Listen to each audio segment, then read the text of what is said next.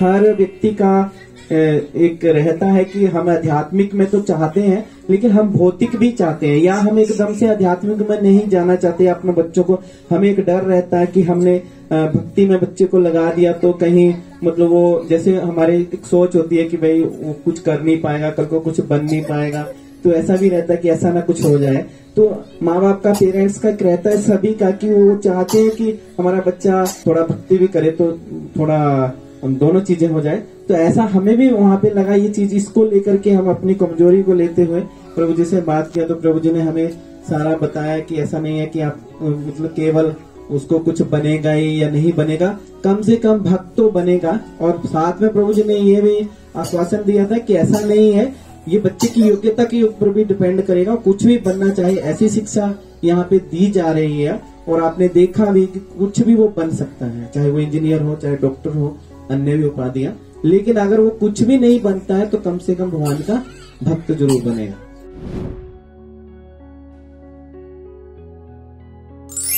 और हमें इसके ऊपर थोड़ा सबसे ज़्यादा डर था इस बच्चे का, क्योंकि इनमें सबसे ज़्यादा छोटा था। लेकिन हुआ उल्टा। हमारी सोच के विपरीत होता है, बिल्कुल। तो माता जी को बहुत, जो शिमला माता जी इनकी ये बच्ची, बच्चा है, उनको बहुत लोगों ने बोला कि ये क्या कर रहे हो आप? कितने आप निर्दयी हो? इतने नन्हे से बच्चे को आप भेज रहे हैं। कैसे माँ बाप हो? लेकिन मैंने उनको थोड़ा डाडस बनाया कि आप, कोई बात नहीं, आपके तीन बच्चे हैं, हम तो अपने दोनों को भेज रहे हैं, आपके पास एक तो रहेगा, आप कोई बात नहीं, आप भेजिए। तो जैसे कैसे करके भेजा तो ये बच्चा सबसे ज़्यादा स्ट्रोंग निकला। ये जो जिसको हम सोच रहे थे कि ये रह पाएगा कि नहीं, इतना छोटा बच्चा था तो ये बड़े अच्छे से इसने करके दिखाया।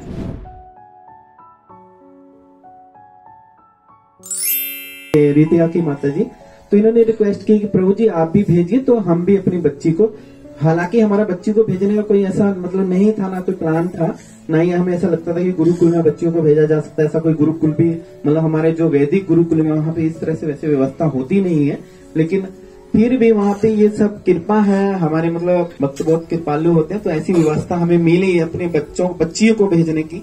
तो हमने जैसे कैसे करके भेजा माता जी ने बोला कि आप भी भेजिए तो मैं भी अपनी बच्ची को भेजूँगी, फिर हमने एकदम से प्लान किया इसको भी।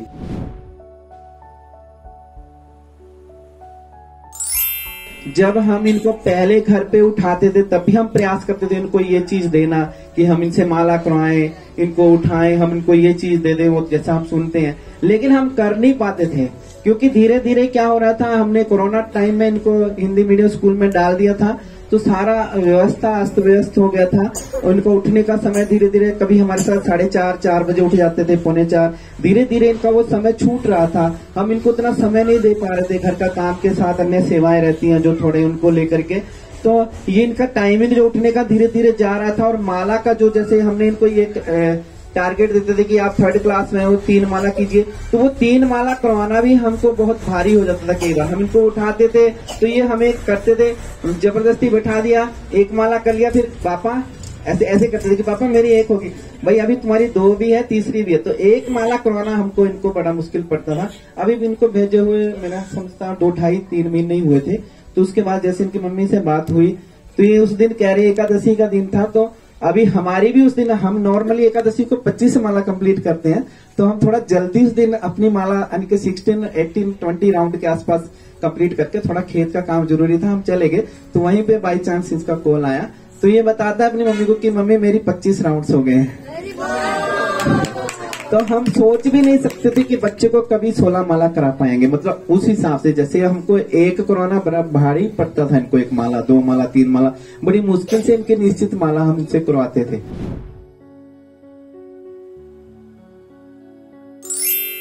तो दूसरा फिर हम इनको बताते थे कि बेटा ये नहीं खाना, वो नहीं खाना। फिर भी हम कहीं न कहीं ढील बरत लेते थे, थोड़ा इनके मामले में हम थोड़ा ढील छोड़ते थे कि बेटा चलो कोई बात नहीं हम नहीं ले रहे, आप ये चीज़ थोड़ा ले सकते हो। मान लो कहीं शादी में जा रहे हैं, देखा कि वहाँ पे भले ही हम देख लेते थे कि प्रॉपर भोग नहीं हुआ है, पर लेकिन हम ये, हमें ये बोल देते थे कि चलो हमने लहसुन प्याज नहीं डाला तो हम थोड़ा बहुत इनको अलाउ कर देते थे, लेकिन जबकि हम जानते थे कि गलत है। लेकिन अभी उसके बाद फिर कुछ बात हुई तो उस दिन बलराम, श्री बलराम जयंती का दिन था। तो इस दिन यही बच्चा पहले हम इनको सिखा रहे हैं। ये उनको बोल रहा है कि अपनी माता जी, मैं भी सुन रहा था फ़ोन पे।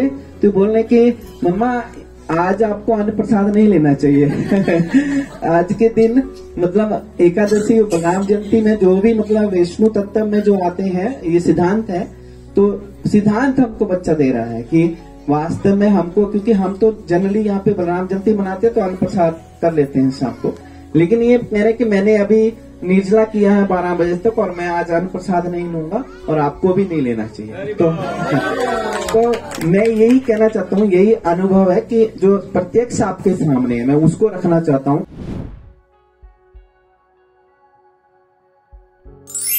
हमें ये लग रहा है कि हमें सेटिस्फेक्शन ये हो रही है हालाँकि हमें हर चीज़ का थोड़ा समर्थन रहता है, किसी चीज़ का नहीं। एक दो पेरेंट्स हमारे बीच में ऐसे भी हैं, जिनको थोड़ा सा लगता है कि चलो कहीं ना कहीं फाइनेंशियली क्योंकि सब देहाती हैं। लेकिन फिर भी हमारे को एक मना शांति है कि मतलब हमारे बच्चे सही जगह है, कम से कम। ये थोड़ा सा लगता है कोई बात नहीं, लेकिन कम से कम ये संतुष्टि है कि वो कम से कम कहीं बुरी शक्ति में नहीं गिरेंगे। कुछ मतलब आगे भविष्य में कुछ भी गलत राह पे नहीं चलेंगे। कम से कम ये मन संतुष्टि है। यहाँ पे हमें अगर मैं आपको बता दूँ, ये बड़ा भद्दा लगता है, उससे पहले की बात पर, लेकिन मुझे रख देना चाहिए। हम सोचते हैं कि यहाँ के स्कूलों की जो हम व्यवस्था है, हमारे बच्चे यहाँ के माहौल में बस में जाते हैं, उसमें भी सुरक्षित नहीं है, ऐसा माहौल हो गया। तो मुझे बाद में ही कोई बता रहा था, ये बड़ा मतलब मुझे ये भी नहीं पता शायद गलत होगा ये बोलना यहाँ पे। मतलब इतने छोटे बच्चे को, बड़े बच्चे इस तरह से इस्तेमाल करते हैं कि आप उनको जाकर के ये बोलो। ये, चीज़ निकल के आई थी। तो देखिए मतलब दिमाग इतना हमारा चल रहा था कि कैसे बच्चों को इस माहौल से बचाएँ? कैसे निकालें? क्या पढ़ाई हो रही है वहाँ पे? तो ये आज की एजुकेशन का हमारा जो मॉडर्नाइज एजुकेशन उसका ये हाल है। तो अगर वास्तव में हम अपने बच्चों को कोई संस्कार कुछ देना चाहते हैं तो यही तरीका यही हमारी वैदिक संस्कृति है। पहले भी गुरुकुल होते थे अभी भी हम प्रभु जी, के बहुत बहुत धन्यवादी हैं कि उस चीज़ को हमारी वैदिक संस्कृति को रिवाइव कर रहे हैं वास्तव में।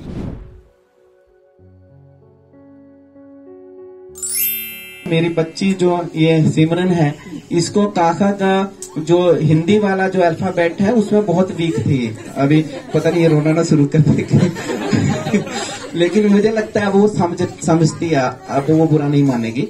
तो वो इस चीज़ को समझती है। तो इसको मुझे ये टेंशन हो रही थी कि ये हिंदी ठीक से पढ़ नहीं पा रहे हैं। और इसका मैं क्या करूँगा? कैसा इसको विषय दूँगा?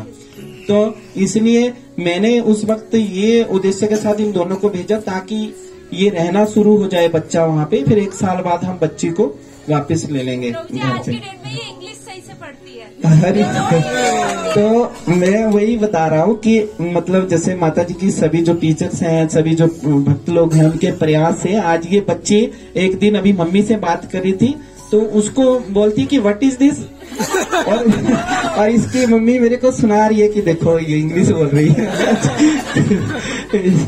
तो वही मैं देख रहा हूँ कि मतलब हिंदी से इंग्लिश पे जाना और मतलब कितना इम्प्रूवमेंट है तो वो सब चीज़ें हैं। तो ये ये तो आपके सामने शख्स हैं मतलब हम ये नहीं कह रहे कोई बनी बनाई चीज़ है।